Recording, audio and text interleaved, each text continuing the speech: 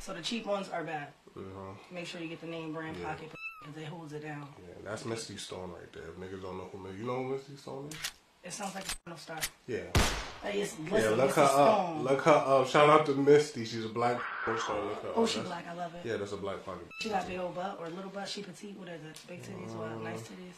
She's petite, Oh, she petite. True. but she got a nice butt though. She's she's like what's what's over petite, but not petite. Like one step above petite, like slim thick. The slim thick. I was just gonna say. Slim thick. That's it. Cause yeah, cause everything is it. chunky where it belongs a little bit, but it's still Uh-huh. real small. Like everything's small, arms, neck, all that. So, But yeah, that's the pocket edition. Uh, look, these niggas be faking they fraud. I be breaking the leaves, crushing it wrong. They look like I'm raking the yard. You know I be breaking the law.